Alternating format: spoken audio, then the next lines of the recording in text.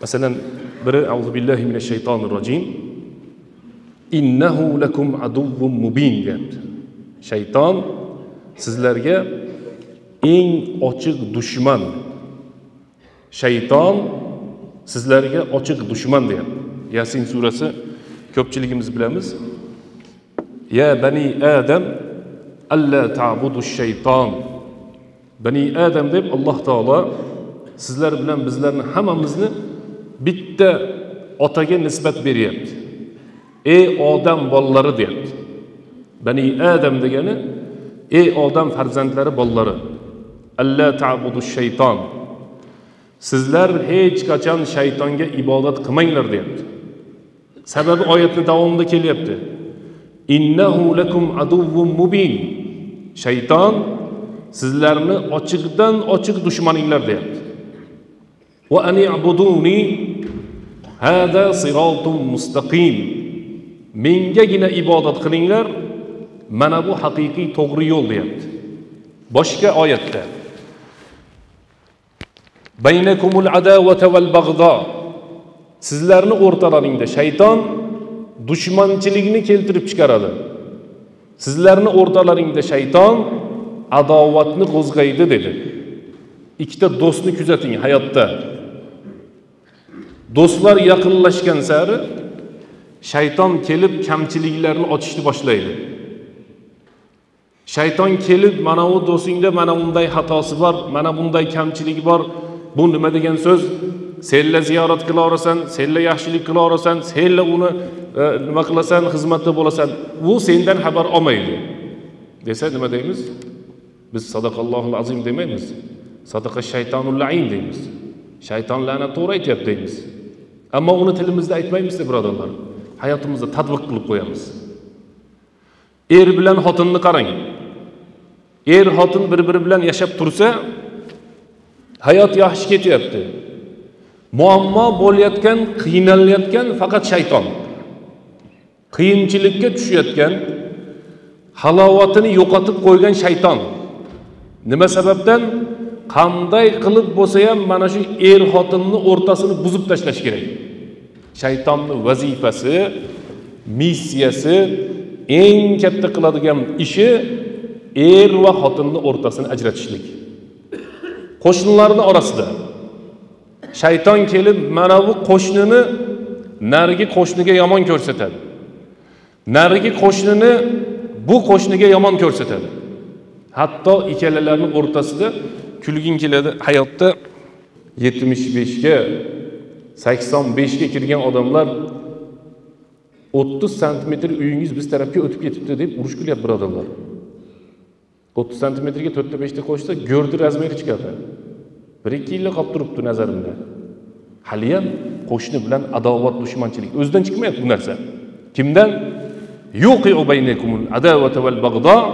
Sizlarni o'rtalaringda adovatni va dushmanchilikni keltirib chiqaradigan shayton deyapti. Mana u shaytonni tarixi bor. Ko'pchiliginglar bilasizlar alloh subhanahu va taolo qur'oni karimda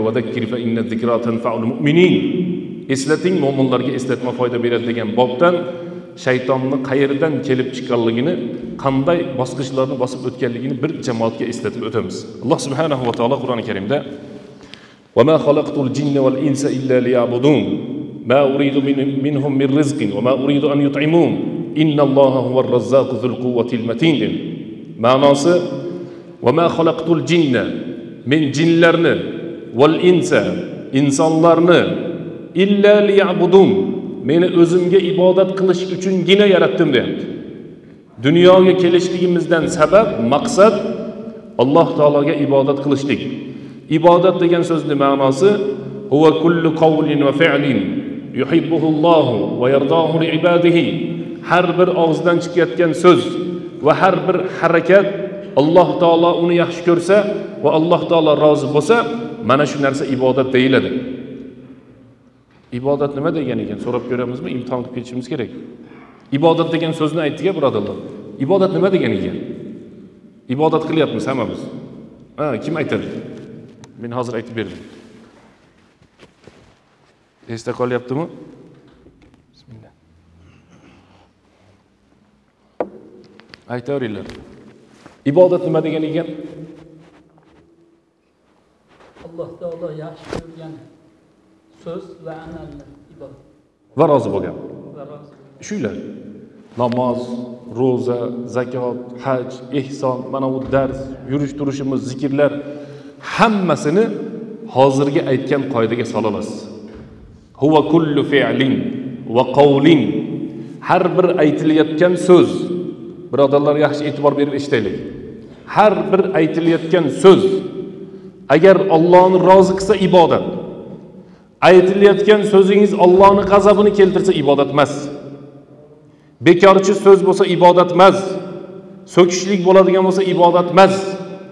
Ollohni rozi qiladigan yoki alloh taolo yaxshi ko'radigan kalom chiqsa mana bu ibodat deyiladi. Bu so'zga nisbatan. Ammo harakatga nisbatan aytiladigan bo'lsa bir qadam alloh taoloni yo'lida tashlasangiz har bir bosilayotgan u qo'lda bo'lsin oyog'ida bo'lsin mana shuni ko'proq bo'ladi. Qilinayotgan harakatimizni olloh yaxshi ko'rsa yoki alloh taolo rozi bo'lsa mana shu narsa ibodat deyiladi birodarlar ibodat so'zini ma'nosi olloh yaxshi ko'radigan so'z yoki olloh rozi bo'ladigan harakat. Qaysi joyda haligi nyutonni nimasidan ham oson xudo xohlasa. Fizikani oltin qonunidan ham yengil. Olloh rozi bo'lsa olloh yaxshi ko'rsa shu ibodat. Qur'oni karimga qaytamiz tafsiriga alloh taolo qur'oni karimda jinna val insa men jinlarni va insonlarni faqatgina o'zimga ibodat qilishlik uchun yaratdim deyapti alloh taolo. E'tibor beryapsizlarmi? Birinchi jin degan so'z keldimi inson degan so'z keldimi? Qaysi biri keldi? Jin degan so'z keldi. Qur'oni karimdagi tartib ma'noni bildiradi degan qoida bor. Qur'oni karimdagi tartib ma'noni bildiradi. Men savol bergim kelyapti ilmiy majlis qilib lekin zino zikr qilinganda birinchi ayollar keladimi erkaklarmi? Qoidani tushuntirishlik uchun xolos. Zino zikr qilinganda birinchi ayollar zikr qilinganmi erkaklarmi? Ayollar.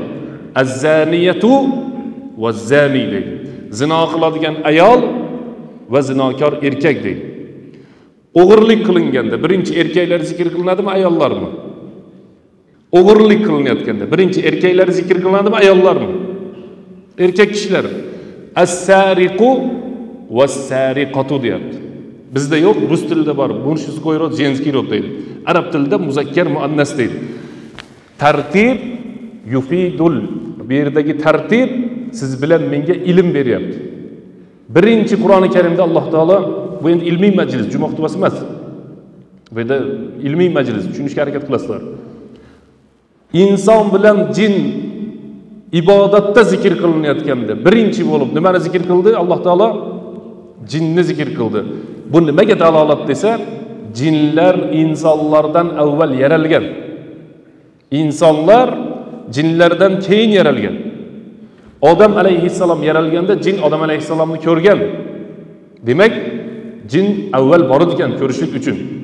Ammo zino zikr qilinayotganda alloh subhanahu va taolo azzaniyatu va zaniy deyapti. Zinokor ayol va zinokor erkak deyapti. Maqol aytamizda hunajin ko'zini qismasa falonchi voy ipini uzmaydi. Ayollar aynimasin hayotda. Jamiyatda boshqalarda ayollardan avval uylariga borib o'zinglargina qaranglar. Qizlaringizni qarang. Ayolingizni qarang. Opa singilni qarang. Nimaga? Bularni hissiyoti kuchli birodarlar. Ikkita odam mana bu yerdamidi? Boshqa yerdamidi? Ko'chadamidi? Chiroyli gapni gapirsa xo'p deganini bilmay qoladi. Mayli ko'rishamiz deydi. Mayli uchrashamiz deydi. Davomini alloh taolo o'zi saqlasin. Zinoni boshlaydigan sababchi bo'ladigan ayol kishi. Shuning uchun arablarda maqol bor. Arabda demaylik buni shariatda maqol bor. Addaynu hammun valau dirham val bintu g'ammun valau maryam deydi. Bir dinor qarzing bo'lsa ham o'ylantiradi deydi. Maryamday qizing bo'lsa ham muammoga soladi deydi. Maryam maryam surasi bor. Maryam tarixdagi eng pok ayol agar qizing maryamday bo'lsa ham o'ylan deyapti yo bizni qizimiz yaxshi eslik xushlik taqvolik madrasada ham o'qiyapti mancha qur'on yodlab qo'ydi umuman bee'tibor qoldirmang agar qizing maryam bo'lsa g'amga tush deyapti agar qarzing dirham bo'lsa o'y firga tushgin nimaga janoza o'qilayotganda qarz to'lanadi ota onani yuzini yerga qaratib qo'yadigan qizi bo'ladi. Ayollarni masalasiga mas'uliyat erkaklarni bo'yniga yuklatilgan alloh taolo qur'oni karimda rijalu qavvamuna alan nisa. Erkak kishilar ayollardan quvvatli deyapti qur'oni karimda. Bima faddalalloh bu fazilatni alloh subhanahu va taolo erkaklarga berdi deyapti. Kullukum roin va kullukum mas'ulun an roiyatihi hammangiz boshchisiz erkaklarga. Va kullukum mas'ulun an roiyatihi qo'l ostingizdagidan albatta so'ralursiz deb payg'ambarimiz sollallohu alayhi vasallam hadisda aytyaptilar. Oyatga qaytadigan bo'lsak oyat karimada alloh subhanahu va taolo ma xalaqtul jinna val insa illa liya'budun. Jinlarni va insonlarni menga ibodat qilishlik uchungina yaratdim. Ma uridu minhum min rizqin va ma uridu an yut'imun. Ulardan menga hech qanday rizq ham kerak emas. Ular meni taomlantirishni ham xohlamayman deyapti. Balki siz bilan menga rizqni alloh subhanahu va taoloni o'zi beradi.